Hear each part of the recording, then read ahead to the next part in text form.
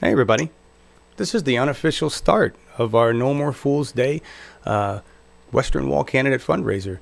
We got a long, long way to go, but I wanted to start early because we have special guests, right? We're going to talk about CFARs with Kelley Lane and Bryan Ramirez. I didn't know Bryan was going to join us, but it's cool that he is because he's also a, a Bernie TV volunteer, right? Followed us for a long time. He's in our Slack. I didn't even realize that he was part of the uh, Revolt Against Plutocracy, but we've got Bryan and Kelley with us right now. Hi, everybody there. I see you all been waiting. Hi, Oz and, and Darcy. I got to look over here because I got this, you know, I got to have it set up for stuff. But right now, welcome. Kelley and Bryan, thank you for joining us.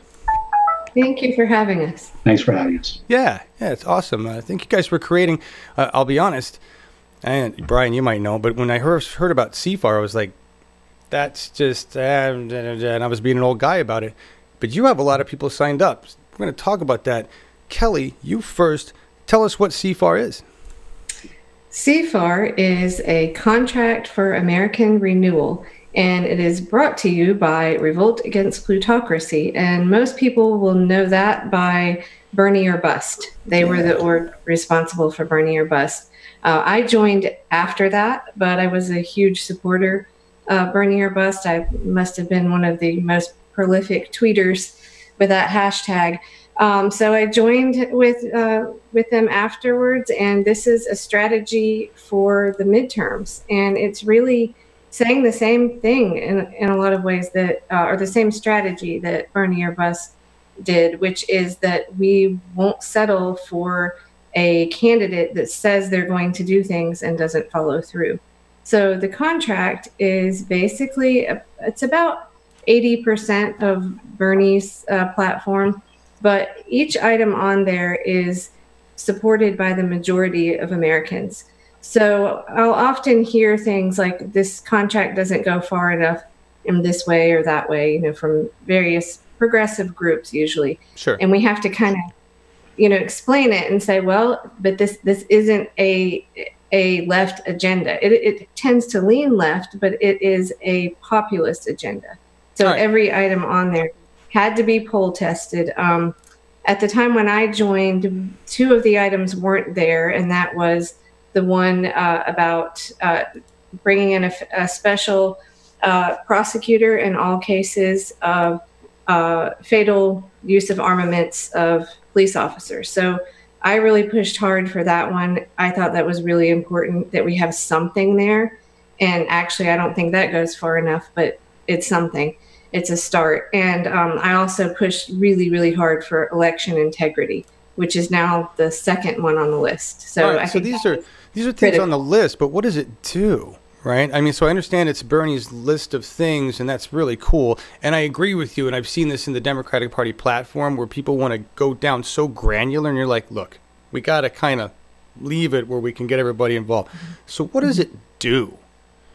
Well, it is basically a promise to the voters. Uh, you can look at back in history and see that you know contracts worked. I believe it was Newt Gingrich's uh, contract. Bryan, help me out here. I'm forgetting the name exactly. Um, it was in the 90s. I think it was just Contract for America. I remember and something they, like that. Holy cow! Yeah, this was kind of before I was really paying attention to politics much, but um, it you know they swept the House and uh, elected a lot of Republicans, and you know Grover Norquist had a pledge right. that you know for no new taxes. So it's basically just kind of an alert to these candidates. Like we've got um, we've got activists that are paying attention. If you you know if you're elected and you don't follow through on these items, you're going to be unelected the next time. So it's basically just kind of a, a check and balance. Like you don't get to just say, like, you know, we've heard this from you know the unity commission all these things that oh we're you know we're progressive we're going to do and, and, people don't believe it and so this is just a promise um, it actually is not legally binding unfortunately okay. all right i was just That's, about to ask that and i want to switch yeah. flop that over to bryan and go there so i've been misspeaking i thought it was I thought it was an attempt at a legally binding contract or some way that you can go no, after the, the, politician with the law. Am I? Uh, so what is it then, really, Bryan? It's it's a means of leverage, is is what it is. It's it's basically the same leverage we used, the same kind of leverage that we used during Bernie or Bust. You know, we we told the back Hillary, but if you do that, we're not going to support her and you're going to end up with Trump. So this is this is basically the same thing. We've got also a list of voters who have signed on to the pledge and they're basically saying with their pledge that they're not going to vote for anybody unless they are a CFAR candidate. So what we can do is we can go to the candidates and say, look, you know, you can either get with this pledge and and support it and adopt these policies, or we're going to run against you and you're going to end up losing. So this is basically the way this works. Is it's it's a mean, means of leverage.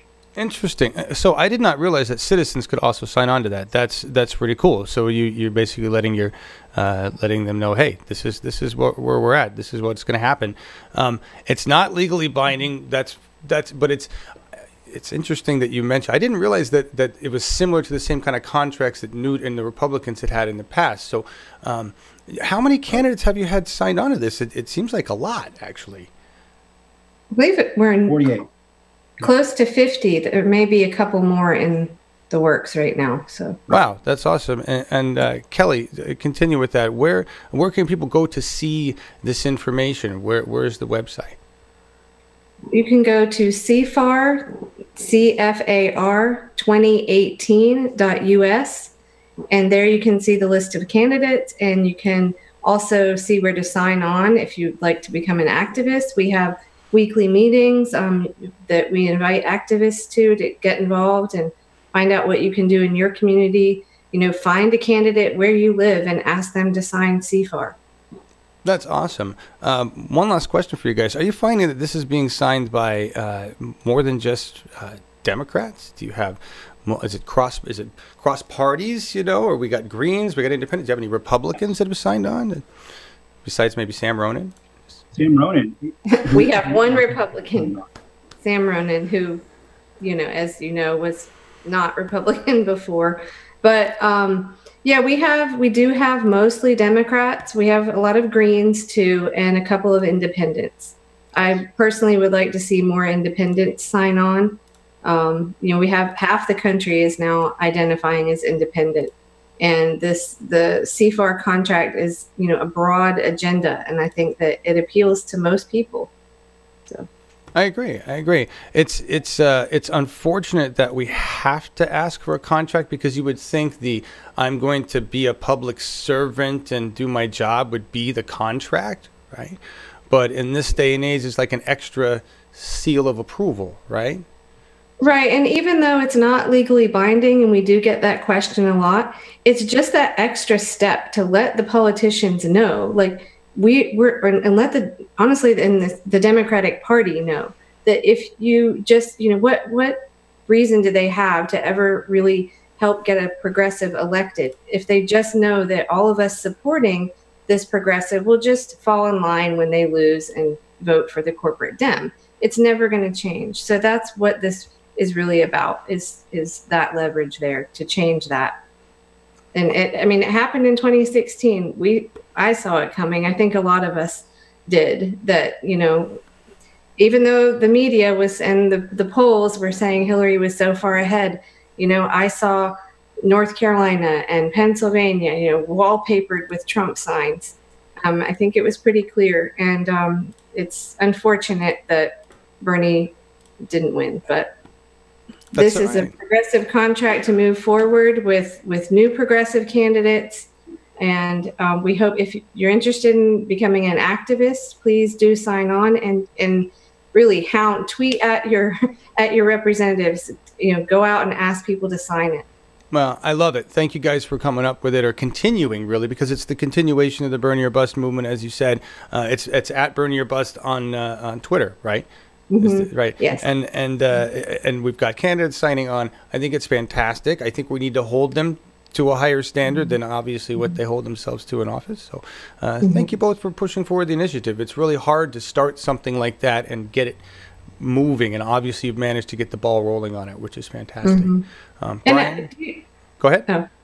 Go I just wanted to say one other thing. Um, you know, we're we're pretty hardcore. Like I, I just want to say that I want to see Democrats sign on that are people like Tim Canova.